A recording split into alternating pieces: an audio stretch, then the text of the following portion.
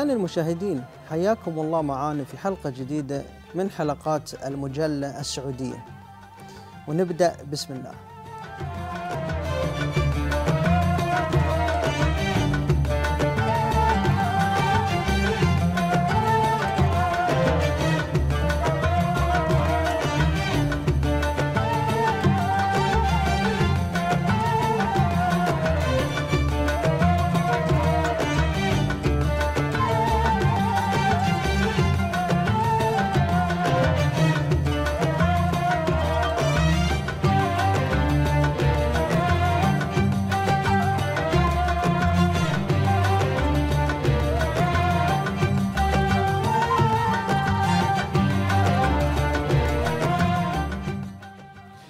أعزائي المشاهدين بشارك معكم قصة من قصص الشخصية. كنت ولد وكنت أحب الألعاب مثل أي طفل في العالم. ولما أطلب من أبوي لعبة على الرغم أنه أبوي كريم جدا كان غالبا يرفض طلبي عشان لا أفسد. لكنه كان يشتري لي الهدايا لما أنجح في المدرسة. ببساطة أبويا كان رجل فاضل. وحكيم. علشان كده هو يحبني كثير. ولما يرفض طلبي لشراء لعبة كان يقول لي كل اللي هو لي لك انت واخوانك بعد وفاتي.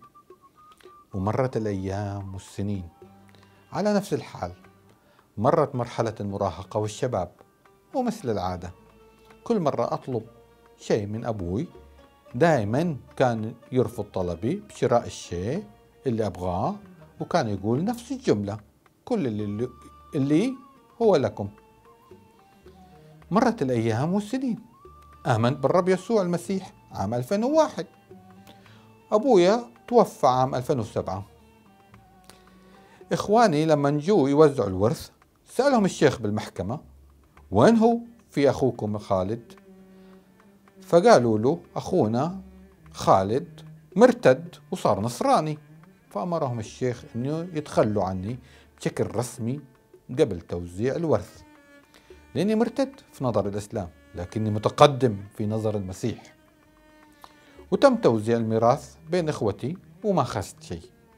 أمي كانت زعلانة وقالت لي أبوك مات وما أخذت شيء. وأنا حموت بعد عن عمر طويل مش حتاخد شيء. قلت لأمي يوميها أمي ما تزعلي لكن افرحي. لأن اللي صار هو تتميم لكلمة الرب في الكتاب المقدس. كلمة الرب بتقول لا يكون للكهنة اللاويين كل سبط لاوي قسم ولا نصيب مع إسرائيل. يأكلون وقائد الرب ونصيبه فلا يكون لهم نصيب في وسط إخوته. الرب هو نصيبه كما قال. تثنية 18 الآيات واحد واثنين. حنا نعرف الآن أن الكهنة هم الواسطة بين الشعب؟ والله. فالرب اختارني علشان أكون الوسيط بين الله وبينكم بين الله وبين أهلي وشعبي اللي أحبهم موت. ثم قلت لأمي المهم هو أبويا وبشهادة الشهود. باركني وبارك أسرتي في آخر مرة تكلمت معه. وهذا بالنسبة لي أهم من كل شيء. أبوي كان دائما يقول إن أغلى عياله الصغير حتى يكبر والمريض حتى يشفى والغائب حتى يعود. إذا حسب كلام أبوي واضح جدا إني كنت أغلى عياله لأني كنت الوحيد الغائب وقت وفاته. الآن أترك لكم الحكم. هل الإسلام ظلمني بأن فصلني عن أهلي؟ لكن الخبر السار هو أن الإسلام وقضاته عجزوا من أن يمنعوا والدي من مباركتي على الرغم من تقدمي للمسيح. تبارك اسمه. حابب أختم هذه القصة معاكم وشاركها بصلاة. شاركوني هذه الصلاة. يا رب يا يسوع نعظم اسمك نقدسك لك كل المجد. كم أنت عظيم. يا رب إحنا مسامحين وما نبغى من إخواننا ولا نبغى من أهلنا شيء. أنا ما أبغى شيء. أبغى الخلاص لهم. أبغاهم ياخذوك أنت يمتلكوك أنت. أنا بحبهم يا رب لأنه أنت حبيتني. من فيض الحب اللي عندي بحب أهلي وناسي. اغفر لهم يا رب ارحمهم. انقذهم من براثن إبليس. اللعين أنت يا رب اللي كسرت قوة إبليس وكل ما له على الصليب. أشكرك يا رب على هذا العلم وعلى هذه المعرفة. وبارك كل نفس عم تسمع هذا الحلقة الآن. باسم يسوع المسيح تكون هذه الحلقة بركة لكثيرين. بالمسيح يسوع. آمين.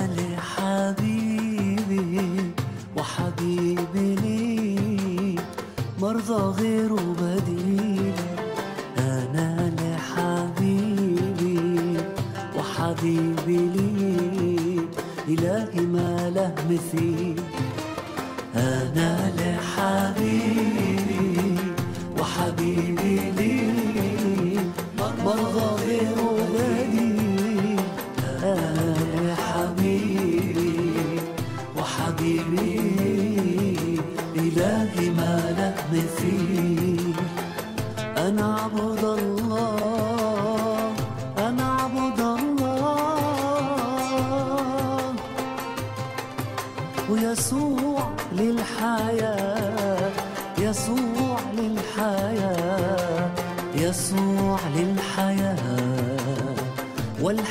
والسبيل والحق والسبيل.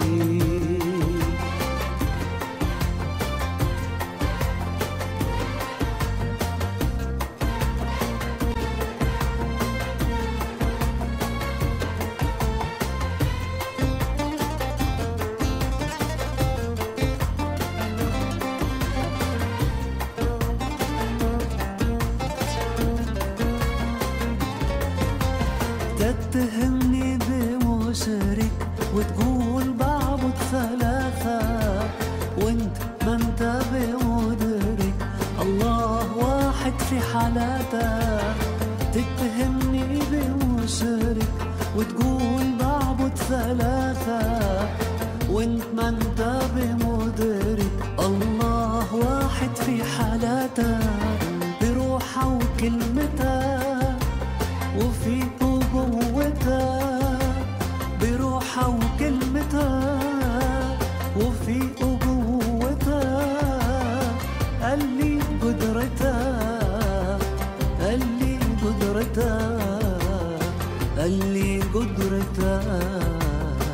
تشفي كل عريض تشفي كل عريض.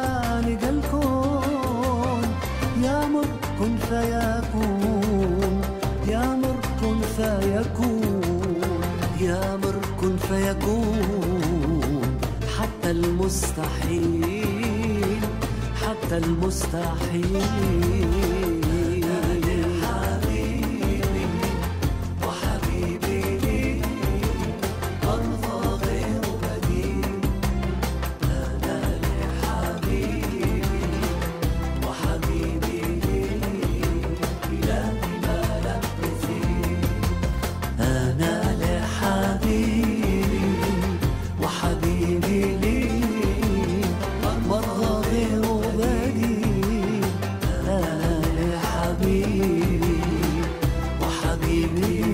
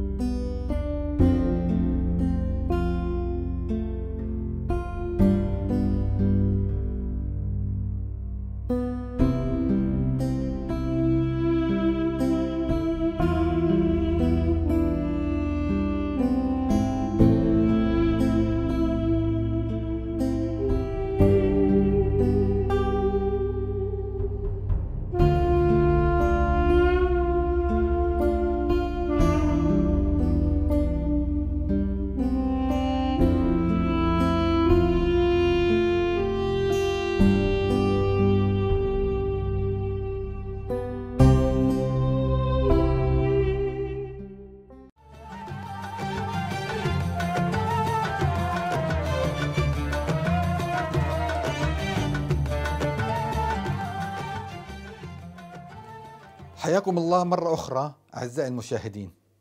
اليوم بتكلم معكم عن ظاهرة الفراغ ويمثلها أبو سن أو عبودي باد الفراغ هو شيء فارغ. أما الوقت المتاح للفرد خارج وقت العمل ويكون للشخص حرية التصرف في هذا الوقت أو الفراغ العاطفي وفقدان الحب والحنان أو فراغ فكري.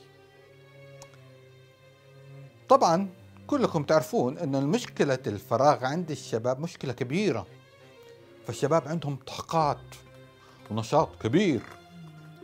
وإذا ما يكون هناك خطة حكيمة لاستثمار هذه الطاقات قد يصرفها الشباب في أشياء مضرة مثل الزنا بحثا عن الفراغ العاطفي أو الإرهاب بحثا عن الهوية أو متابعة برامج تافهة. أو تبشيك مع العيال في القهاوي أو على البلوت بحثا عن المتعة المزيفة.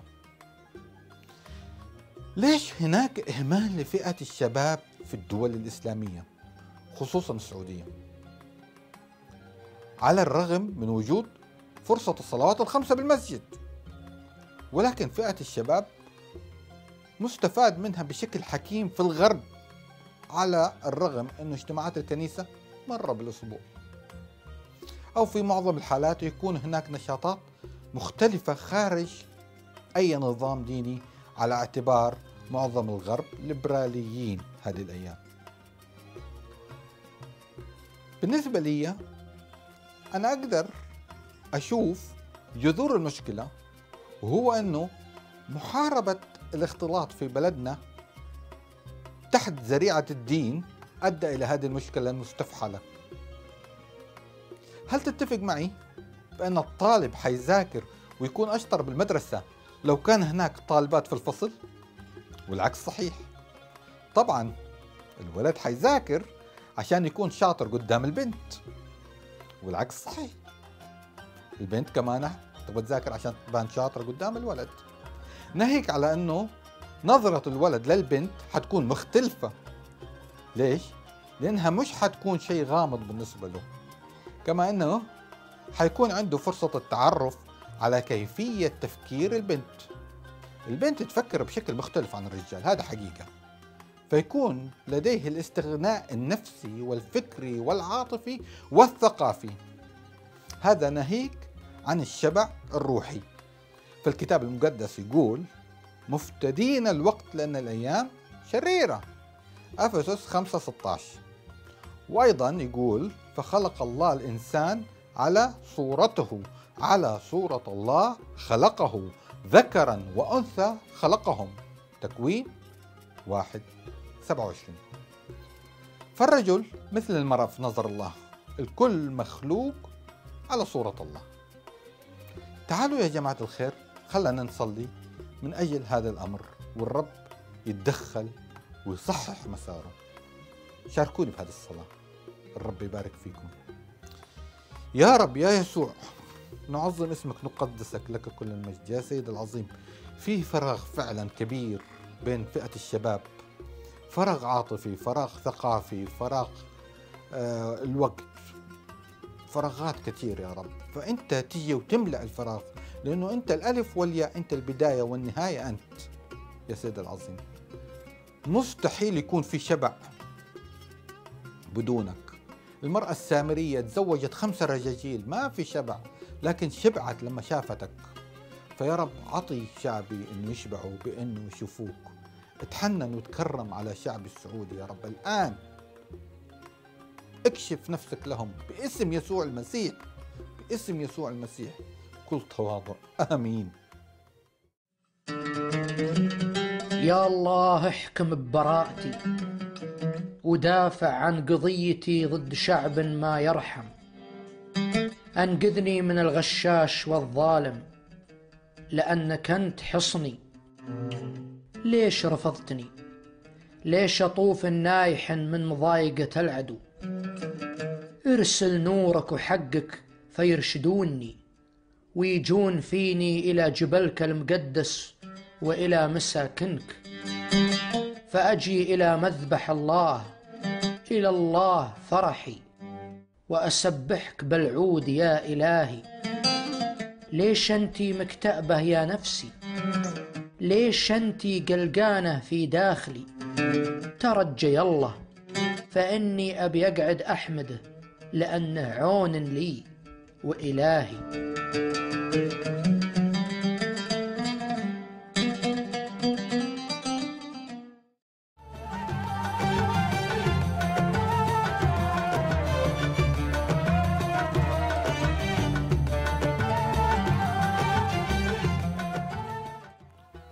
أعزائي المشاهدين وصلنا هذا الاختبار حابب أقرأه عليكم.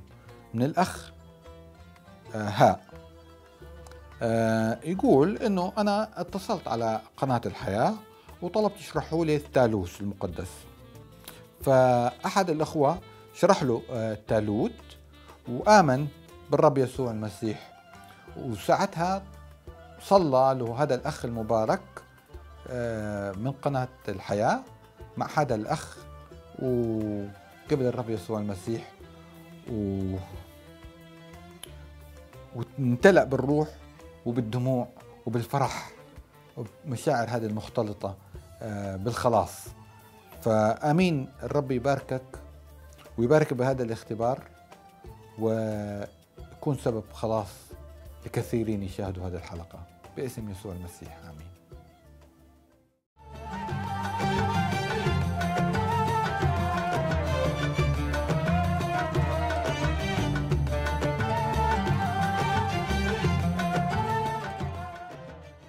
أعزائي المشاهدين أهلا وسهلا ومرحبا فيكم من جديد في فقرة جديدة من فقرات كلام ودي. كسعوديين ما كنا نعرف أي علاقة أو جذور تربطنا بالمسيحية. فالتاريخ العربي الإسلامي ما أبدأ أي اهتمام بالمسيحية بين العرب. فما كنا نسمع عن تواجد للمسيحيين في الجزيرة العربية إلا على استحياء. واحتمال يكون السبب أن لا يقال إن الإسلام أخذ شيء من المسيحية. تعتيم فصلنا عن تاريخنا وحقيقتنا وجذورنا الإيمانية. كنا نتعجب وجود مسيحيين من أصول خليجية في الكويت والبحرين ونقول أكيد هذول أصلهم مش خليجي. ونتعجب أكثر إذا سمعنا أسماء عائلات معروفة في مجتمعنا لها مفهوم أو دلالة مسيحية مثل الراهب أو المسيح أو الصليبي أو القس. وكنا نتساءل كيف جات الأسامي في مجتمعاتنا؟ كنا كذا حتى عام 1986 وقت تم اكتشاف أطلال كنيسة مسيحية موجودة غرب مدينة الجبيل شرق السعودية. كنيسة ترجع للقرن الرابع الميلادي يعني موجودة قبل دخول الإسلام بما يقارب من 200 سنة.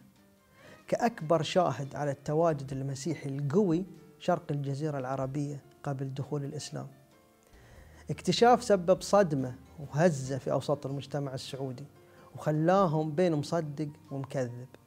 عشان كذا طلب عدد كبير من المشايخ إنها تهدم ويطمس أثارها نهائيا. لكن أبشركم الكنيسة موجودة إلى اليوم لكن ممنوع زيارتها. ومن هنا حبيت أقدم لكم حلقة خاصة نتكلم فيها عن التاريخ المسيحي في شبه الجزيرة العربية قبل الإسلام. واللي كانت تعج بالكنائس والرهبان والأساقفة والأديرة والأبرشيات. فقد كان العرب من أوائل من قبل دعوة السيد المسيح واحتمال كبير يكون بعضهم احتك بالمسيح مباشرة أثناء تنقله بين المدن. ويعتقد أن بعض العرب عرفوا السيد المسيح شخصيا وربما تغيروا على يده. لكن المؤكد هو وجود عرب في القدس حين حل الروح القدس على التلاميذ الاثنى عشر مثل ما هو مذكور في سفر أعمال الرسل. كما أن الكثير من المؤرخين يؤكدون أن المسيحية انتشرت في الجزيرة العربية بواسطة بعض تلاميذ السيد المسيح أو من خلال أحد السبعين رسول. فلاقت بشارة الإنجيل قبول مميز جدا في كل أنحاء الجزيرة العربية. فبدأ الانتشار المسيحي في الجزيرة العربية مع بداية بشارة السيد المسيح لكن بلغ ذروته في القرن الرابع والخامس وحتى دخول الإسلام. فدخل في المسيحية الكثير جدا من القبائل العربية الكبيرة وهالشيء ساهم بشكل, كبير في انتشارها.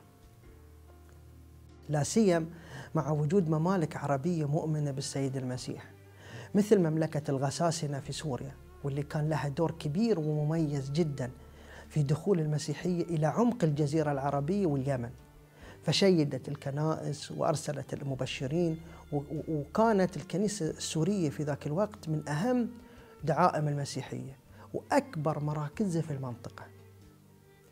كما كان أيضا لحملات التبشير النشطه لمملكة المناذره في الحيرة دور بارز وأساسي في انتشار المسيحية وترسيخها على امتداد الساحل الشرقي للجزيرة العربية بداية من نهر الفرات إلى عمان. فمن الحيرة انطلقت الإرساليات المسيحية على الطريق التجاري نحو الخليج العربي وعينت أساقفة وبنت مراكز للتعليم وشيدت الكنايس ونشرت الأديرة وامتدت الأسقفيات على طول ساحلنا الشرقي ونذكر من المراكز المسيحية المنتشرة في ذيك الفترة أسقفية سماهيج وأسقفية الخط وأسقفية هجر وأسقفية دارين وأسقفية مازون وأبرشية في قطر والكثير من الكنائس المنتشرة في الإمارات والظهران والجبيل وعمان والكويت والبحرين. وإلى وقت قريب كانت جزيرة فيليكا أو فيليكا الموجودة في دولة الكويت مركز مسيحي معروف ومرموق ومشهور جدا على مستوى الخليج العربي.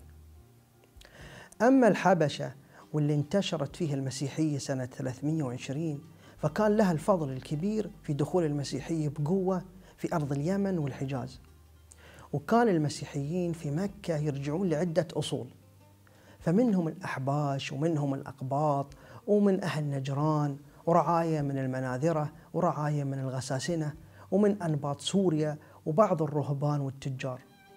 بالإضافة إلى جماعة من سادة القوم كانوا على المسيحية مثل عثمان بن الحويرث وورقة بن نوفل بن أسد وعبيد الله بن جحش والكثير غيرهم. وتواجدت المسيحية في الطائف بعد وتابوك ويثرب حيث كان للمسيحيين هناك ثلاث كنائس. ووصلت المسيحية إلى قلب الجزيرة العربية عن طريق المبشرين والرهبان والتجار المسيحيين. ومن الأماكن اللي قبلت المسيح في ذيك المنطقة نذكر دومة الجندل ووادي القرى واليمامة. ومن القبائل العربية المشهورة اللي قبلت المسيح بشكل كلي أو جزئي نذكر قبيلة تميم إحدى أكبر القبائل العربية وقبيلة بكر وتغلب بنو بكر بن ربيع. والمناذرة مؤسسي المملكة العربية جنوب العراق والغساسنة مؤسسي المملكة العربية في الأردن وجنوب سوريا وحوران. وعندكم قبيلة طي وكلب وتنوخ ولح ولخم وغالبية قبيلة امرؤ القيس. وهم قبيلة عبد القيس على طول الساحل الشرقي في الجزيرة العربية. وجزء كبير من قبيلة كندة في الشمال وربيعة وبنو أياد وبنو لخم. وجميع القبائل العراقية من أصول يمنية مثل تيملات وتنوخ وبني قضاعة وبني صخر في وادي القرى. أعزائي المشاهدين بالأمس كانت أجراس ونواقيس الكنائس تضرب في أرض الجزيرة العربية وكانت أسماء كعبد المسيح وعبد الفادي ويوحنا منتشرة بين أهلها الطيبين وكانت الترانيم ترفع ويذكر اسم الله. وكان المسيحيين يحتفلون بأعيادهم أعياد الميلاد والقيام والشعانين ويقيمون الصلوات ويعمدون عيالهم ويحبون الناس ويمجدون المسيح. واليوم أبشركم يعود للمسيح عشرات الآلاف من أبناء الجزيرة العربية الأصليين في السعودية والبحرين وقطر والكويت وعمان والإمارات واليمن والعراق وتعود معاهم نفس الترانيم ونفس الأسامي ويحتفلون بنفس الأعياد ورجعوا يعمدون عيالهم. وفي كل يوم جديد يخلص المسيح نفوس جديدة تمجد الله وتقبل خلاصه. فعطية الله عظيمة وخلاصه كبير والحصاد كثير جدا ولله الحمد. كنا معاكم اليوم وبنكون معاكم الأسبوع الجاي بإذن الله. شكرا لكم وفي أمان الله.